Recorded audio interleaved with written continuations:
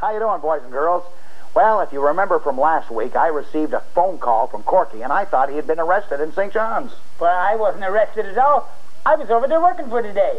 Down at the police station. Yeah. Well, I went into St. John's, and while I was there, Lieutenant Gary Brown gave me a tour of the Royal Newfoundland Constabulary, and I found out about fingerprint taking, and I took a look at the communication center. Well, today we're even in for more fun. I get to go for a ride in a patrol car, and I get to see what happens in a real police lineup, and I talk to Lieutenant Gary Brown, and I find out how you become a police officer and some of the things that a police officer has to do. That's coming up today, right here on Skipper and Company. Stay tuned.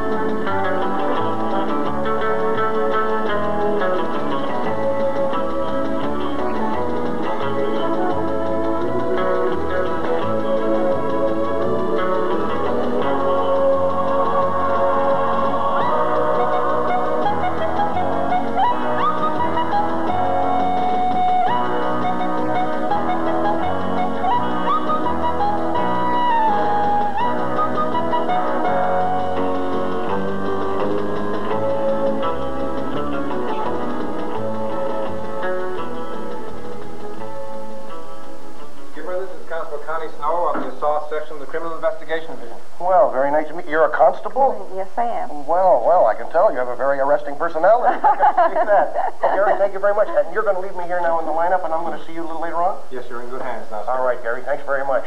Thanks very much. You know, I've been seeing so many things, Connie, around the police department, and uh, the lineup uh, room and all of that, that must be an important part of a police procedure, isn't it?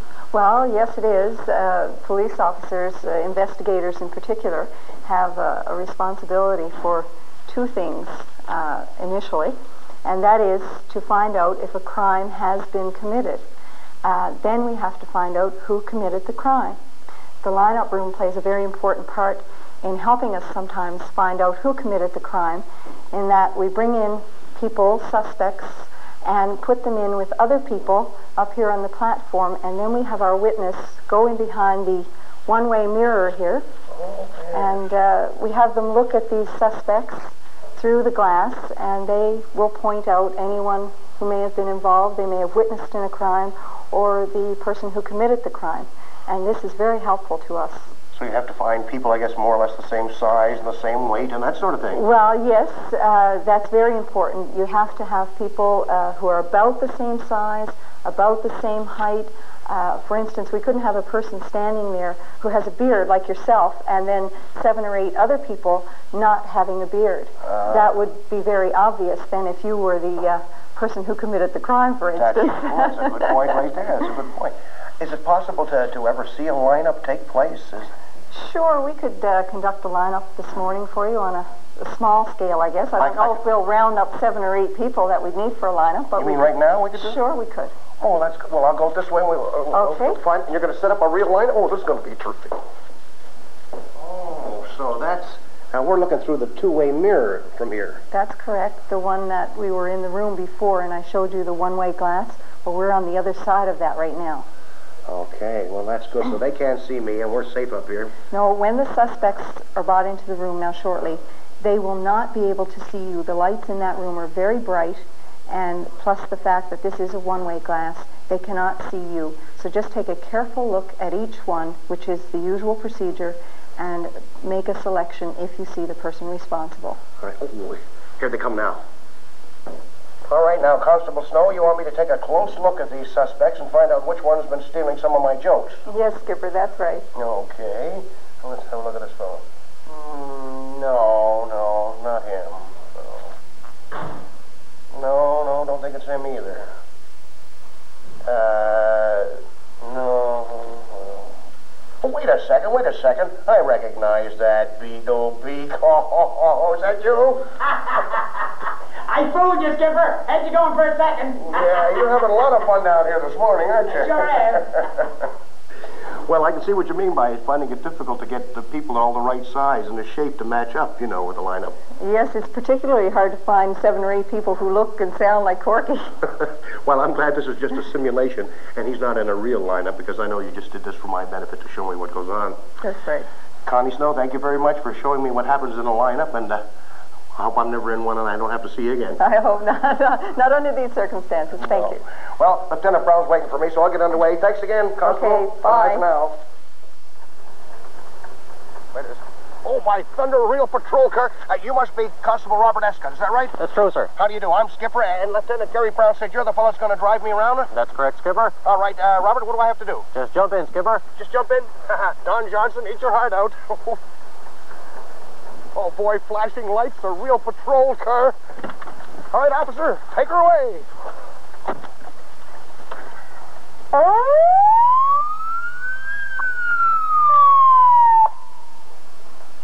You know, uh, Constable Escott, you you must have an awful lot of responsibilities being a, an officer in a patrol car like this. Yes, sir, there are. An awful lot of responsibilities. What sort of things you got to look out for most of all? Lot of it is uh, looking after the motorists. You have to make sure that they are upholding the law. You're checking people walking, pedestrians, uh, school kids especially this time of the day. And you're answering a lot of complaints. All the complaints that come into the police department are answered by the street patrol, which is what I am a member of. We are the first officers on the scene of any particular complaint. You know, I, I can't help but think that boys and girls, of course, you know, drive in the cars with their parents, but a lot of youngsters are on skateboards these days and bicycles, and what should they do if they, they hear a siren approaching? The first thing that one should do when they're when they hear a siren or a, see the lights of a patrol vehicle or any emergency vehicle is to get completely off the road safely. Uh, the thing is, the lights, the emergency lights or a siren, are not operated on an emergency vehicle unless it is an emergency. And when that takes place, we need as much room as we as we can possibly get. So boys and girls can really help if they get out of the way as soon as possible. They sure could, Skipper. Now, another thing, too, you know, in this day and age, uh, buckling up and seatbelts is a very important thing for children to know uh, if they're in anybody's car. That's true also, Skipper. Uh, seatbelts do save a lot of lives. It's the law now in Newfoundland and practically all across the country to have people, not just kids, but all people, buckle up in seatbelts. Uh, smaller kids, infants, they're required to be in car seats, and they do save lives. Uh, kids should be buckled up in the rear seat. All right, now, too, uh, we were talking once about youngsters being left alone in the cars. Does this create any problems for you fellows? This creates great problems, Skipper. The thing being that uh, a parked vehicle, especially, whether it's running or not, uh, we've had a few incidents recently, actually, where the vehicles have been knocked out of gear and they've rolled into parked vehicles, and they could possibly run into some pedestrians, and sooner or later somebody's going to be killed by uh, an, an innocent child in a vehicle just because it was left unattended. So it's against the law to have uh, a child uh, left in a car It is. unattended. It is. Uh, it is against the law. And in the event that the vehicle's left running, it's very easy for a child to get asphyxiated and be overcome by carbon monoxide poisoning, and that means sudden death. Also, heat prostration sometimes in the summertime. Definitely, Skipper. Well, you have an interesting job indeed. Robert, any chance of us uh, perhaps uh, trying to catch a speeder this morning? Yes, sir. No trouble at all. We'll give it a try? We'll give it a try. Okay.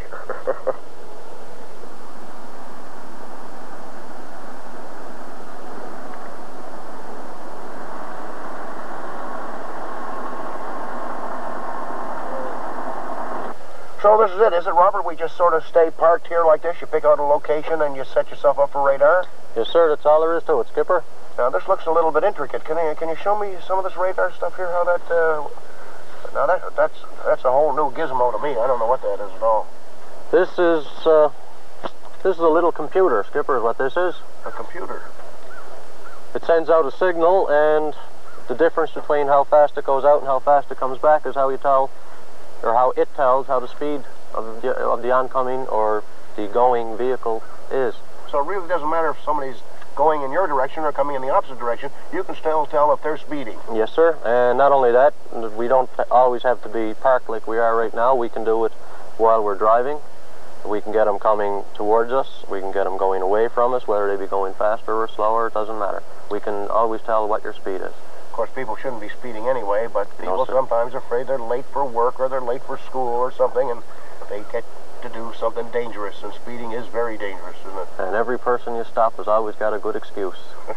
Ain't it the truth? They've always got excuses, but they're never good enough. All right. Now, we just sit here now, and we're going to wait for a speeder. Is that what we have to do now? Yes, sir.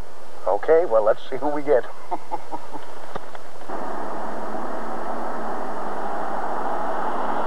okay, uh, Constable, uh, does that mean we got a speeder? That means exactly that, Skipper. We've got a speeder. All right, let's go.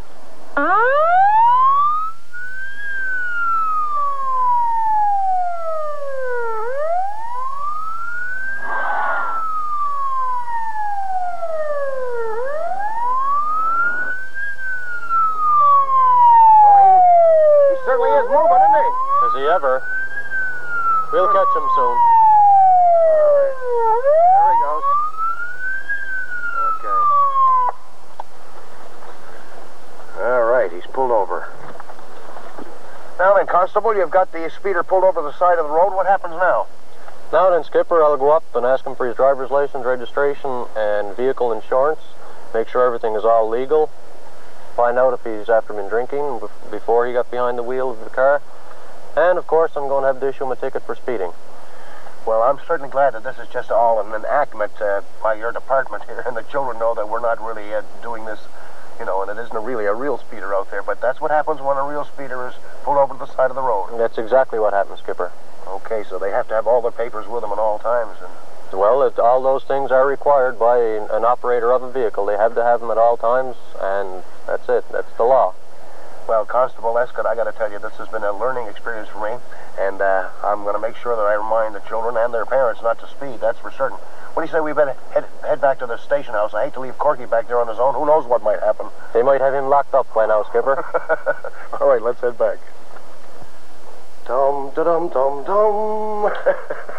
well, you know, Gary, I gotta admit, boy, I never thought there'd be so much to see and so much to do in a police department. There's a lot. You got you fellas have to know an awful lot of things, don't you? There are a lot of things to see and do in the police department, yes. Gary, how does a how does a young man go about joining the police department in this day and age? Well, not only the young man, uh, Skipper, it's uh, a young female also. Of course, that's right. So. Uh, so you have to be uh, finished high school and 19 years of age, and you put in an application, and we uh, advertise each year. And then uh, the, this year alone, to give you an example, there was approximately 2,000 applications for 15 positions with the force. And I'm the officer in charge of police recruiting. So the people uh, put in the advertisement. They then have to first stage is to write a written examination. And then those who pass the written examination go on to the next part of the process, which is a physical fitness exam. And after the physical fitness examination, you then have to go on, those who pass, to an interview. And after the interview, the uh, candidates are basically tabulated in a, uh, in a sort of a scoring fashion. And then from there, the top 15 are chosen. It's a very hard uh, process. And we travel all over Newfoundland and Labrador, the recruiting team, doing this. And then if they're once they're finally accepted, then they've got to start learning all of these things I've been looking at today. Then their work only starts when their accepted hours is finished as far as the recruiting is concerned. That's correct. And they have to do training at the Atlantic Police Academy for 52 weeks now.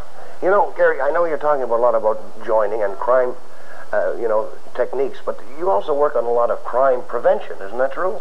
Uh, yes, crime prevention is a very important aspect of policing for all our police officers, uh, Skipper, in the sense of, you know, what's causing the crime? Why are young people or why are certain people doing armed robberies and things like that? So we look at the preventative aspect, and there's a special unit called the Crime Prevention Unit who focus on the whys and wherefores of crime, and we go into the community and we work very closely with the community in doing crime prevention.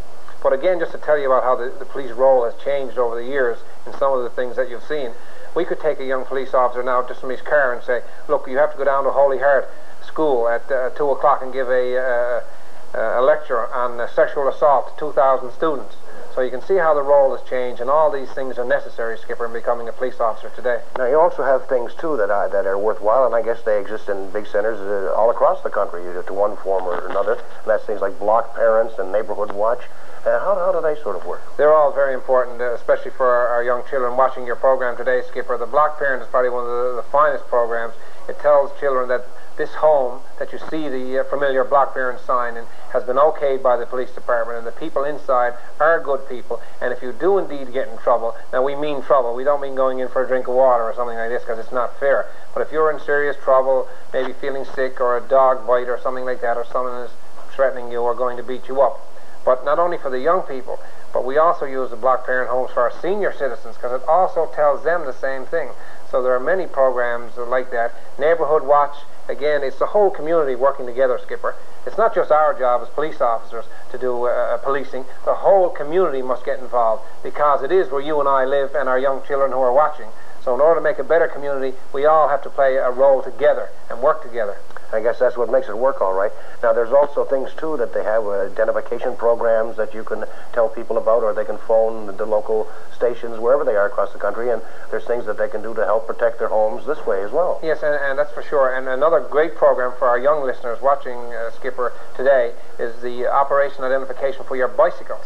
Because bicycles today, uh, as a father of three, they're very expensive. You know, two or three hundred dollars, no problem.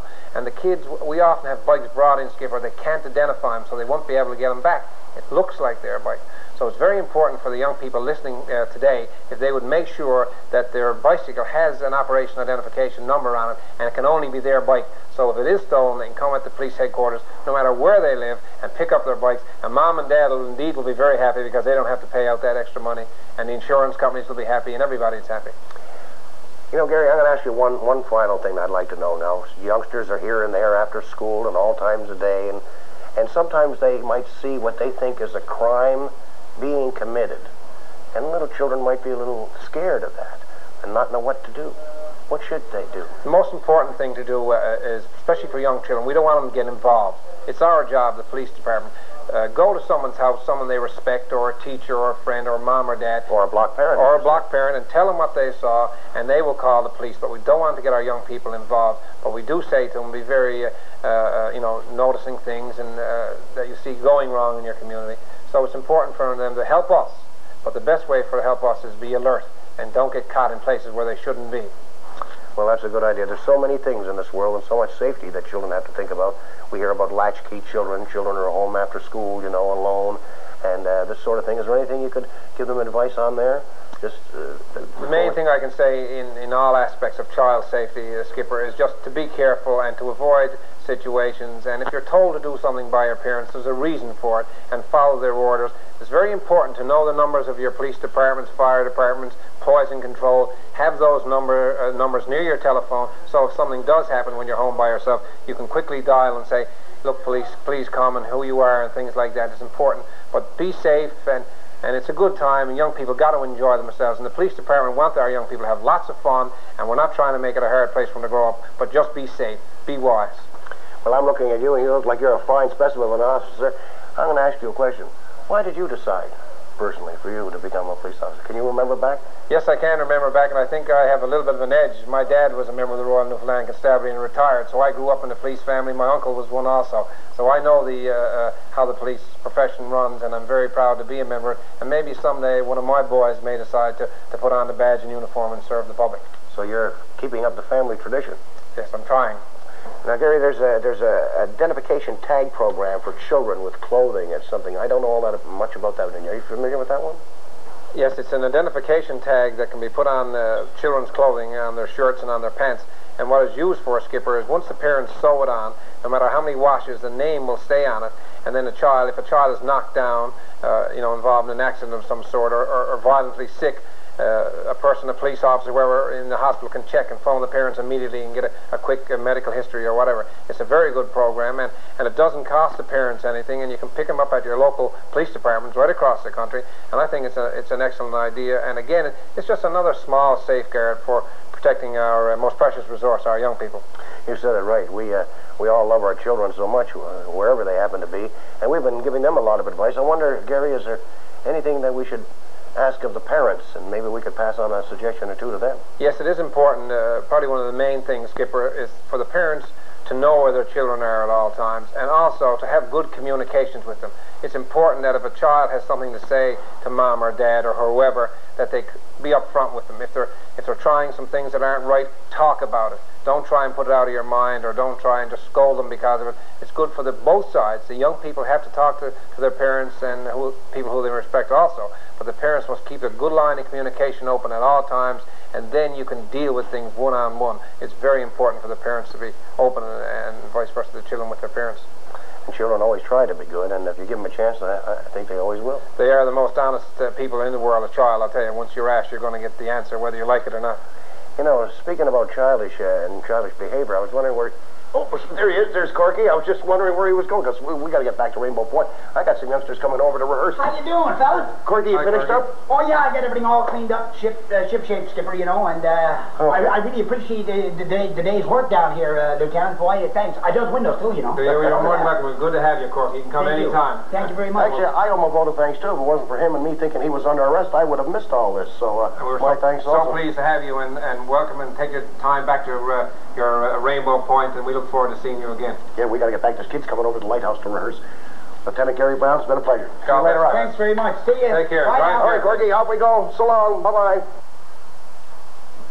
Boy, when I got that phone call from you, you know, and you told me you were at the police station, I thought you were under arrest. Oh, gee, I'm sorry to frighten you like that, Skipper. Well, we had a good time. We had Oh, yeah, you the saw the building and and everything. I mean, that's some place, boy. Anyway, I want to make sure we get back because the kids are coming over to the lighthouse to rehearse, and you're okay. Don't go away. There's more to come. Ooh, oh, boy, well, I, I'm sorry to... What a day. What a day. Yeah, I'm sorry to frighten you, Skipper. I mean, you oh. thought I was arrested and everything. I, oh, Corky, I should have left a note The for you. or telephone line you know. was so bad. Yeah. When you said that you were in the police station, I automatically assumed, you know, that you had been in trouble for something. And that was my mistake. But I owe it all to you. If it wasn't for you, I wouldn't have had a tour of the Royal Newfoundland Constabulary building in St. John's. What a day that was, Well, Rick. it turned out to be a good day. Oh, It relax. was a good day. It was a good day. What did, what, did, what did you think was the most interesting about all of that? Well, there was so many things, you know. I mean, from the fingerprinting to the computer to the to the uh, rifle range and all the technical equipment that they got and the programs and everything. You know, I nice had no. I had no idea because you know when you get right down to it, the police officer is just like one of the rest of the citizens, and they do their job and they're the best they can. They have their own families, they have their own lifestyle, and I can tell the boys and girls at home, you know, you boys and girls, if you have any problems, you're lost sometime or anything ever happens, if you see a police officer, talk to the police officer. He won't do you any harm, and he loves you, and that's what he's paid for, and he'll help you every time. Is that right, Corky? That's right. That's right. I, I know a fellow one time went into went into the police station, you know, Uh-huh. and he came in and he said, "Hey, hey, can somebody help me, please?" He said, uh, "I've been robbed."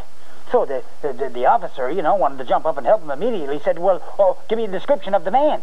He said, "Well, no, it, it, wasn't a man." He said, uh, "It was uh, it was an elephant." What? Wait a He- minute, wait a minute, wait a minute. An elephant was Oh the yeah, robber? I, I, and and well, the police sergeant kind of gave him a strange look too. You know, he said, "Oh yeah," he figured the guy was putting them on. He said, "An elephant." I see. Oh yeah. Uh-huh. All right. He said, "Well, what kind of elephant was it?" Uh-huh. He said, "Well, you know, what do you mean? What kind of elephant? It was a big gray elephant, four feet, big long trunk. You Well, know, there's big different gray one." elephants. There's an Indian elephant, there's an African elephant, Well, one as big that's what the cop said to the guy. As a matter of fact, he said, there's a difference in elephants, Mr. Smarty Pants. He said, you know, like Indi- Indian elephants got bigger ears than, than the African elephants. So he said, huh, Mr. Smarty Pants, you tell me. He said, what kind of elephant was it? The guy said, gee, I don't know. He was wearing a mask. he was wearing a mask. I- you should have told that to the boys down at the consent. yeah, I'd still be down there. Well, you know, Corky, I got to admit, this has been a day that's been different for me than most other days. You see how another man earns his living, and you see how other people work. And the members of the Newfoundland Constabulary, the Royal Newfoundland Constabulary, that's their job. They're professionals. Their job is to protect citizens, you know, and they want to help the honest tax-paying, everyday person, the people who kind of work every day, and they're all worried about their children. They're all worried about honesty and robbery. We have a lot to worry about, and I'm glad we have something like the Royal Newfoundland Constabulary here in Newfoundland. uh-huh. Listen, you hungry? I am hungry. I'm starved. You going to cook up another one yeah, of your specialties? let's go and cook up I'll stuff. anything today, my friend. How about bologna under glass? bologna under glass? I I like that it. one. That ought to be pretty good. Fine. Oh, I think.